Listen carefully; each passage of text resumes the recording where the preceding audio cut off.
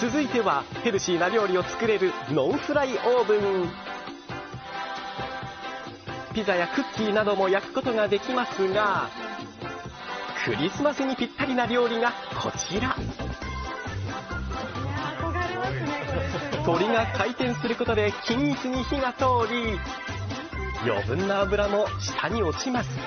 およそ45分でローストチキンの完成です。